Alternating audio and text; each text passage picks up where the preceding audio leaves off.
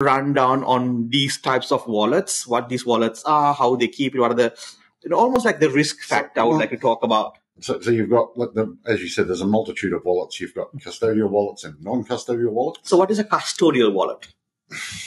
A custodial wallet is generally the type of wallet that you would get at an exchange. Got it. So someone has got the private Somebody keys. else has got the private keys. Got it. Yep. And if Charlie was here, he's probably screaming if he's watching right now, you know, not your keys, not your crypto. Yes. you know, because that's how it works, which is obviously what's happened with your exchange wallet that you just mentioned. Um, so yeah, wh- while you have access to that wallet, Hmm. you don't actually have access to the keys to sign anything. It's all done on your behalf Hmm. through the exchange. Yeah.